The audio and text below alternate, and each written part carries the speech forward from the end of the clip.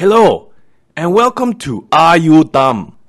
My name is Jimmy Choo.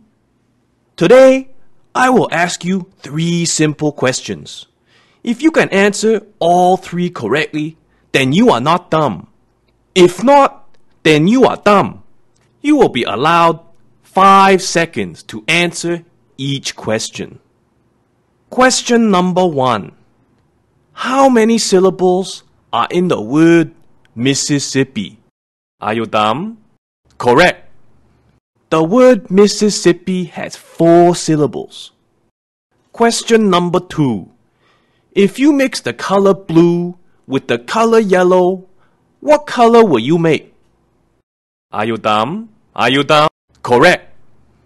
Mixing blue and yellow produces green. Question number three. If there are three apples and you take two away, how many apples do you have? Are you dumb? Are you dumb? Correct. If there are three apples and you take two away, you have two apples because you were the one that took them. You answered all three questions correctly.